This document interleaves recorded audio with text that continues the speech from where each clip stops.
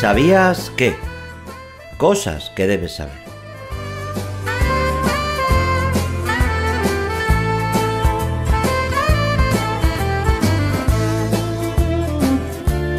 En Luz a las Naciones, tu canal cristiano de comunicación, te presentamos el espacio ¿Sabías qué? Cosas que debes saber.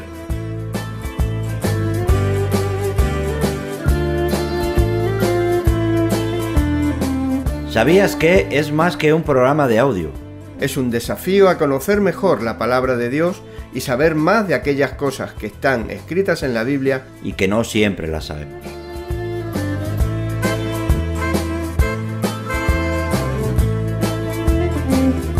¿Sabías que la fe es por el oír y el oír por la palabra de Dios? ¿No lo sabías? Pues lo puedes leer en el Nuevo Testamento, en la carta del apóstol Pablo a los romanos, en el capítulo 10 y versículo 17.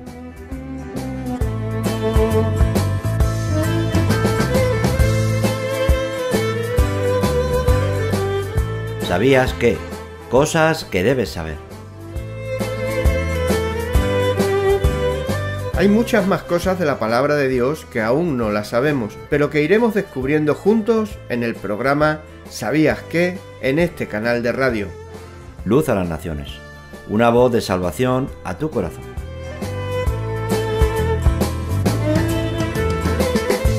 En el capítulo de hoy de este programa ¿Sabías qué?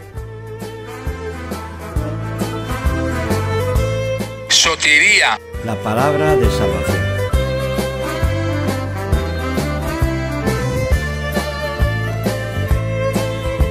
En el Antiguo Testamento, el nombre sotiría significa salvación y el verbo soson significa salvar. Indudablemente para nosotros es de suprema importancia averiguar qué quiere decir salvación y ser salvo. En el griego clásico, sotiría significa liberación o preservación. Puede usarse respecto de un hombre que vuelve sano y salvo a su casa o su país después de haber estado ausente un tiempo puede significar garantía de seguridad o seguridad contra el peligro. En los papiros, el significado más común de sotiría es con mucho salud corporal. Por ejemplo, un miembro de cierta familia escribe a casa y dice, escribidme acerca de vuestra sotiría, o como nosotros diríamos, hacedme saber cómo estáis. Comencemos buscando el principio del significado de esta palabra en la Septuaginta, la versión griega del Antiguo Testamento, pues de ella se nutrieron muchos de los primeros cristianos. La Septuaginta fue la Biblia de la Iglesia antes que el Nuevo Testamento fuera escrito, y ella matizó el lenguaje y los pensamientos de la Iglesia primitiva. En la Septuaginta, sotiría significa, en su expresión más simple, resguardo y seguridad en general. Donde no hay dirección sabia, caerá el pueblo mas en la multitud de consejeros hay seguridad. Libro de los Proverbios, capítulo 11, versículo 14. También significa liberación de la tribulación en general. Los adversarios del salmista le dicen, Oh Jehová, cuánto se han multiplicado mis adversarios. Muchos son los que se levantan contra mí. Muchos son los que dicen de mí, no hay para él salvación en Dios. Mas tú, Jehová, eres escudo alrededor de mí mi gloria y el que levanta mi cabeza. El salmista ora a Dios para que mande salvación. Tú, oh Dios, eres mi rey, manda salvación a Jacob. El hombre que espera en Dios se regocijará en su salvación. Y se dirá en aquel día, He aquí, este es nuestro Dios, le hemos esperado y nos salvará. Este es Jehová a quien hemos esperado, nos gozaremos y nos alegraremos en su salvación. Libro de Isaías, capítulo 25 y versículo 9. En la Septuaginta, sotiría significa liberación de un enemigo.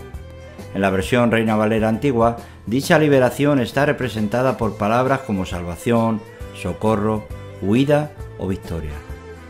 Sotiría describe la liberación por Dios de Israel de sus enemigos a través de toda la historia. Describe la liberación de Israel del Mar Rojo Estad firmes y ved la salvación que Jehová hará hoy con vosotros. La liberación del Mar Rojo era la liberación por excelencia. Allí, sobre todo, la mano de Dios fue vista en todo su esplendor y poder. Algunas veces en la Septuaginta esta palabra es escatológica, es decir, encontrará todo su esplendor y gloria solo en la nueva era que vendrá. No es algo que se agota en este mundo.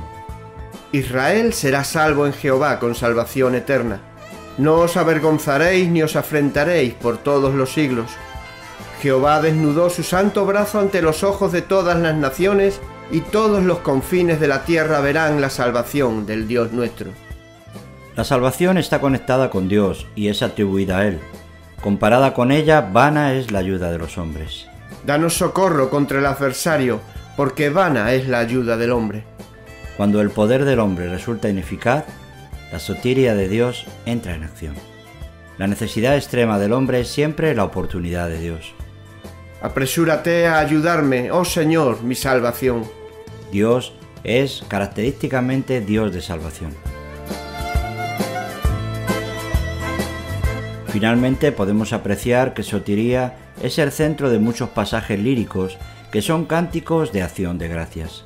Aparece en el canto de Moisés, una vez atravesado el Mar Rojo, lo podemos leer en Éxodo capítulo 15 versículo 2, en el canto de David, tras haber sido liberado de Saúl, lo podemos leer en 2 de Samuel capítulo 22 versículo 3, versículos 36, versículo 47 y 51, y en el canto de Ana, cuando supo que iba a tener un hijo. También lo podemos leer en 1 Samuel capítulo 2, versículo 1. La salvación de Dios hace cantar de gozo al hombre que la experimenta. Así pues, cuando los escritores del Nuevo Testamento usaron sotiría, recibieron con la palabra una cuantiosa herencia, pues el vocablo ya describía la salvación, preservación e intervención del poder de Dios en la crisis de la historia y de la vida individual, el cuidado que no cesa en este mundo y el amparo que hace cantar de alegría a la persona que lo siente.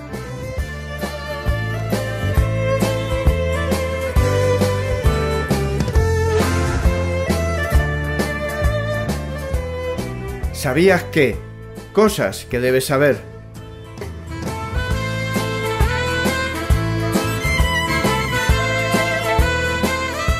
La pregunta de esta semana.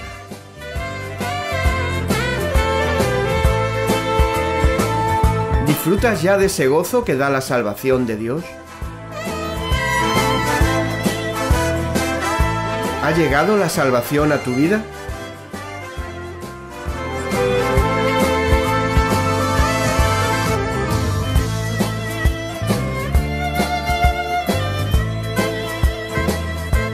¿Cuál es tu respuesta? Llámanos con ella al teléfono gratuito 910 18 13. O escríbenos un correo electrónico a info.fmradioluz.com. Te enviaremos una Biblia o un ejemplar del Nuevo Testamento sin ningún compromiso por tu parte.